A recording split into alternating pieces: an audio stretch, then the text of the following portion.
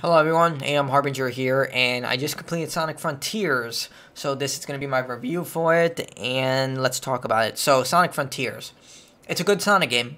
If you're a Sonic fan, you're going to definitely enjoy this Sonic game. Now, is it the best 3D Sonic ever made? Absolutely not. I still think that Sonic Generations, and I think a large portion of the Sonic community would agree with that. I know a lot of people hold Sonic Adventure and Sonic Adventure 2, even Sonic Unleashed to high regard, but I think Sonic Generations is definitely the best of the game. Now, Sonic Frontiers. So, uh, the first uh, elephant in the room, how is the open world? So, there are five technically open worlds. I wouldn't constitute one of them as an open world because it's just there to serve as a progressive blocker for story reasons. It doesn't really constitute as an open world because you get the 100% completion regardless. You have to complete it. So the open worlds, they contain several objectives. They're themed after a specific NPC, specifically Sonic's friends, and one of them is a newcomer to the franchise. So one, the first one's themed after Amy, then comes Knuckles, then Tails, then the world I told you about that has to be completed with a 100% story requirement.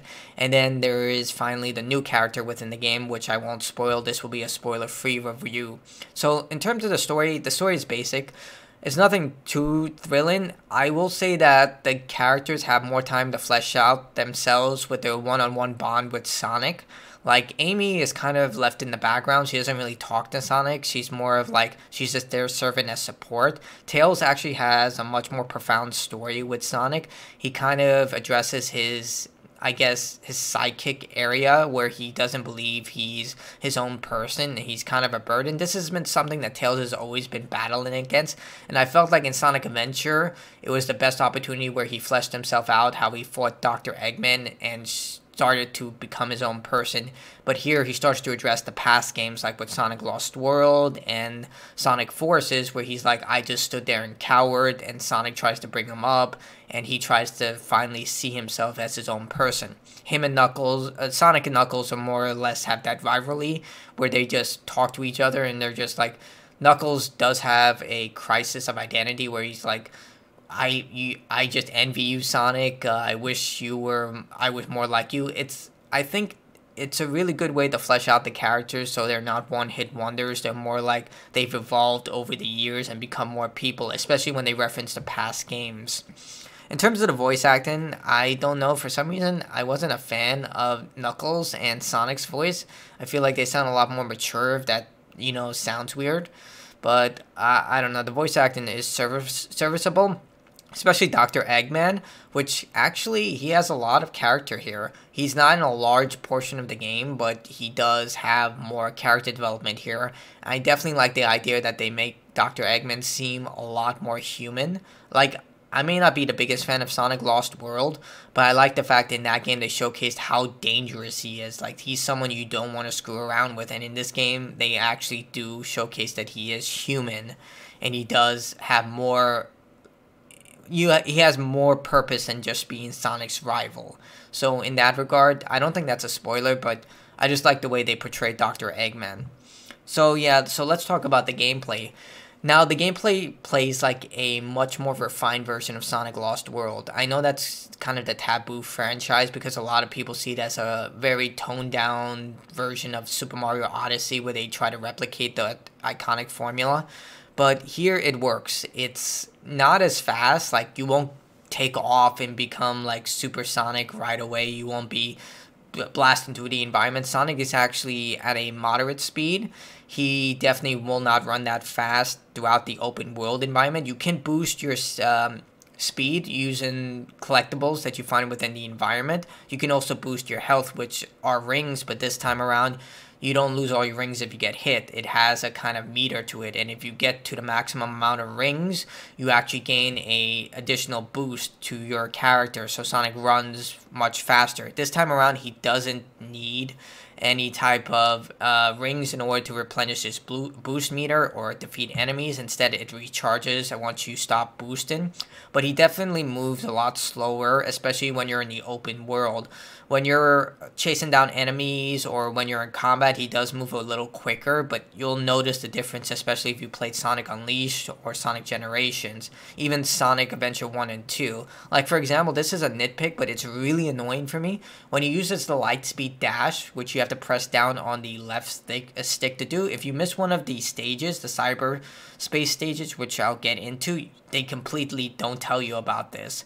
But the Lightspeed Dash actually stops you right there when you use it, unlike Sonic Adventure 2, where you can keep going, which I think was a little weird for them to do, but it is what it is, I guess. Now, Sonic does gain new abilities, but they're mostly just combat abilities, such as ability to shoot uh, homing projectiles, recover from being hit, uh, Sonic Boom, which allows him to shoot shockwaves, which we've all seen.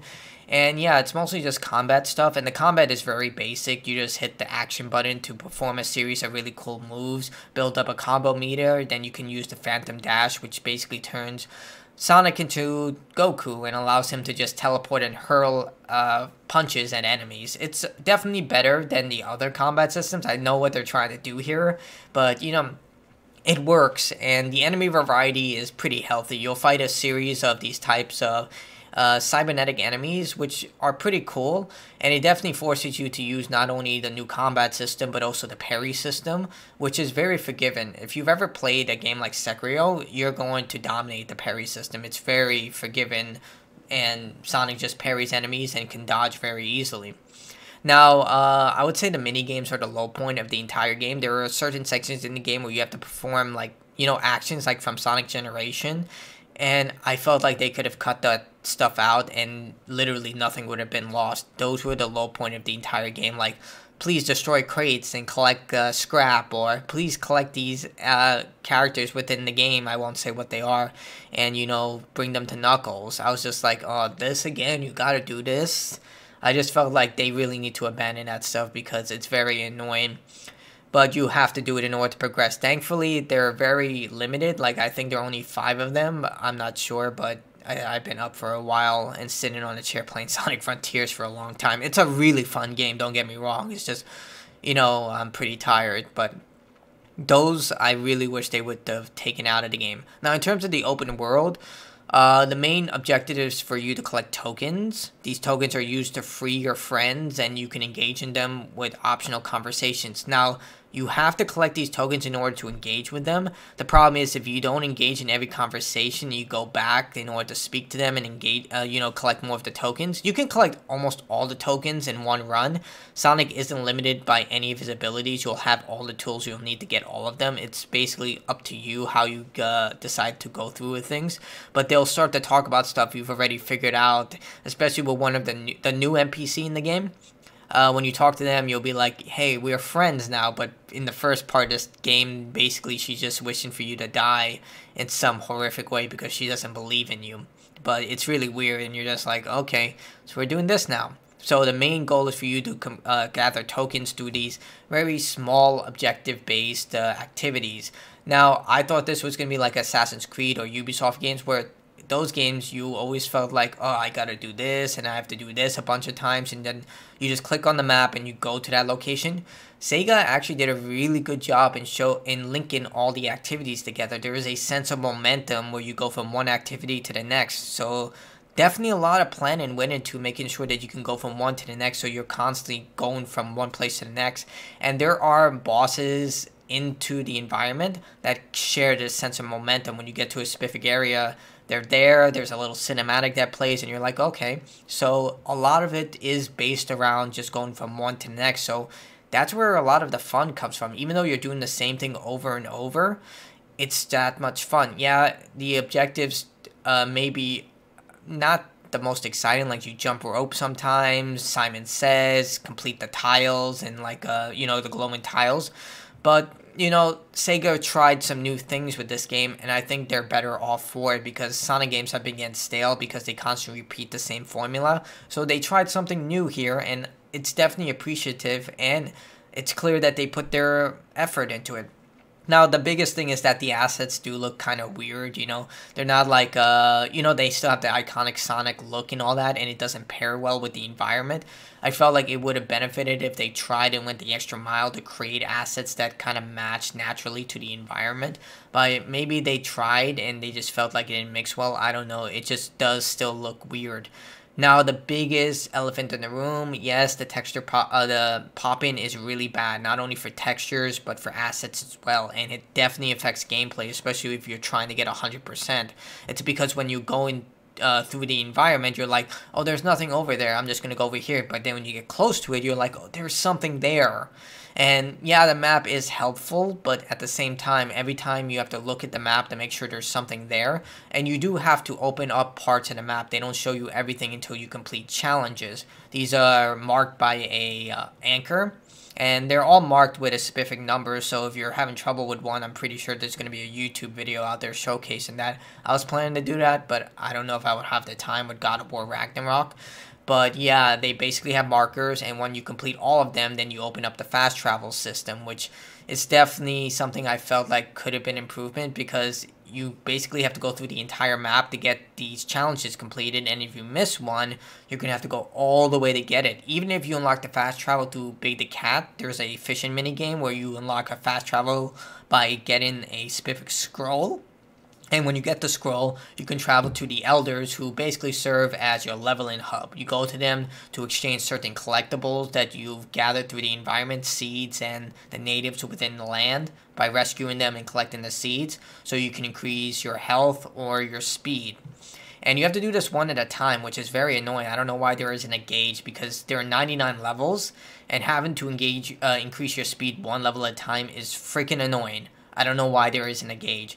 And yeah, so um, the fast travel system I felt like should have been improved. The next thing I really was annoyed about was every time you complete a challenge, they do three things. They send out a pulse through the anchor that uh, you got the objective from again, the object the anchor doesn't tell you what the objective is. It just tells you within the area. So it's pretty easy to figure out what it is. Even if you just you just look around and you'll find out what it is. And usually, if you don't know what it is, just use Sonic's new ability, which is the Sonic Cyclone, where you just circle around an enemy holding the Y button on Xbox. I play this on Xbox Series X, and it usually unlocks the item. But yeah, it sends out a pulse.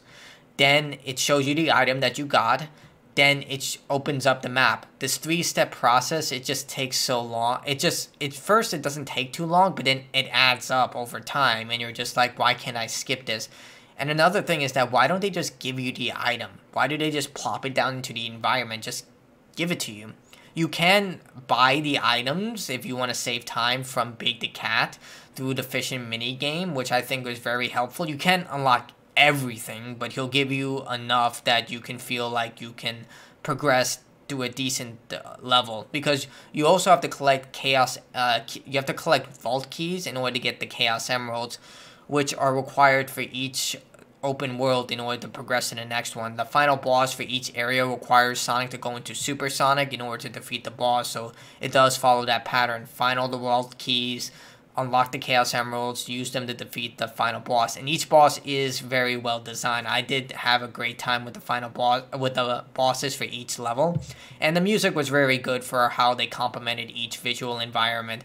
I believe there are 150 unique tracks. Some of them are modified from classic Sonic games, and they're extremely well done. I mean, I didn't the only one that I kind of really didn't hit like was Tails' open world uh, soundtrack. I felt like it was very just annoying. Like I didn't like Tails' world entirely because it's so branched off from the others where you can run for a large part of the open world for each of the other environments. Here they're separated by islands in Tails' world and only one specific rail goes to those islands. So again, if you missed a challenge and you're trying to open get into the open world, you have to go all the way across to a very annoying path, a very specific path in order to get to that island and get that thing. So it can be annoying in that regard. And yeah, I do believe this game should have been delayed in order to fix that texture pop in. Like, uh, releasing it at the same window of God of War was just, I don't know. Again, maybe it's something I'm not seeing, but I think it was a really stupid idea. They should have delayed the game and fixed the texture popping because it is not okay. And unless someone can fix it for a pre-launch patch, I just felt like it was uh, something that should have warranted a delay. Now, the biggest appeal probably in the Sonic Frontiers experience will probably be the cyberspace areas. These are isolated areas that they definitely took reference from Sonic Forces here, but from the good reasons. Each stage is around, I think the longest is around 2 minutes 45 seconds to get S rank and they're about one to two minutes long. They're very short stages that have branching paths, and they have four missions for you to get four vault keys, uh, S rank in order to complete the stage on a specific uh, time. Uh, you have to get a specific amount of rings in order to complete when you complete the stage uh, all red rings, and I can't remember the fourth mission, but there are four missions. Oh, fourth mission is just to complete the stage, I think. But yeah, you get all four, and then you get the vault keys, and then you just use that to get the Chaos Emeralds. Now, this is something that I just have an annoyance generally with Sonic games, is that they rely too much on nostalgia. Like, almost all the stages are modeled after iconic levels and areas within classic Sonic games, such as Green Hill Zone, Chemical Plant Zone, Sky Sanctuary, and then Speed Highway. Like they'll just use the same enemy assets and everything, and it definitely doesn't play to the game's benefit. I feel like Sonic uh, needs to have his new unique stages. Like, you know, even yeah, it's good to have nostalgia here and there, but when you rely too heavily on it, it starts to just bleed through and become repetitive. For example, a lot of the stages are designed in a way where you'll instantly recognize them from other Sonic games. Like there'll be stages that are just based off Metal Harbor, based off Speed Highway. It it's not remix stages like Sonic Generation did. They're literally just like refined in different ways just to complement it. And they're not as fast as the other Sonic games. They're more based on precision. And the red rings are a lot easier to get this time around. They are within your specific path. Like, there was only one red ring that really required me to look for it, but I was able to get them pretty easily without even searching. Like, it's pretty easy. But yeah, each uh, zone is separated with these cyberspace zones, and they're basically labeled where you have to get gears, which you get from either defeating enemies or just finding in the environment. Then you unlock the stage, you go to it, and there you go. You can also unlock the, the they also serve as fast travel points, but only if you discover the entire map, like I stated before. So in terms of the open world, it's decent nothing truly exciting. They definitely put work into the momentum and making sure that it's not repetitive. So I do appreciate that. Now, when you get locked into a 2D section within the open world, you have to complete it unless you like kind of break it in the sense that you kind of go in reverse or you purposely fall off the edge. But I found it very annoying that there's no way for you to like just cancel out of it and just walk away from it because once you complete it, it doesn't disappear. It's still there and some of them do serve as a purpose for like you know getting to a specific area much quicker. So some of them serve a purpose some of them don't. But yeah if you get locked into those 2d sections you're just gonna have to play through them and sometimes it does get annoying. Now uh, let's talk about the game's um, performance. Very well done in terms of everything else within the cyber st- uh, space stages but yeah, I mean, I didn't endure any crashes. Like, yeah, the texture popping, like I stated, I wish the game was delayed in order to resolve that. But in terms of, you know, not crashing, that's good. Now, there's no new game plus, which is unfortunate. Uh, after completing the game, I was hoping to use my stuff that unlocked through hard game difficulty. But unfortunately, you cannot. There is an arcade mode, though, where you can play the cyber stages uh, outside from having to go into the main game and that's good. I mean, nothing wrong with that for people who want to speed run through stages. Sonic games are a big speed running competition, but it's there. Now, I will say that I do wish that they put in a little more effort into the supersonic stuff. Like, maybe make them a little more engaging in the sense that you didn't have to rely so much on parrying. Like, there are some of the boss fights are cinematic affairs, but for the most part, they do seem like just parrying encounters where you're just there to wait until the enemy hits you and then you hit them back. But yeah, you know, it's decent enough. I do like the idea that they gave Eggman more humanity in this uh, game where they show him as more of a, you know, person than just, you know, Sonic's nemesis, which is good. But overall, it's a good game. I think as a Sonic fan, I really enjoyed it, and I think other Sonic fans will enjoy it as well. It came, it saw it, and it accomplished what it sought out to do. The soundtrack is good, the gameplay is solid. Technical issues need to be resolved with the uh, pop in, but overall, it's a decent Sonic game for around 14 to 15 hours to complete. If you want to complete everything, which I'm going to do, I'm probably going to take 22, 25 hours if I want to complete the game on hard difficulty, which is likely what I'm going to do. And that's it for Sonic Frontiers. Good game, very well done. Highly recommended if you're a Sonic fan.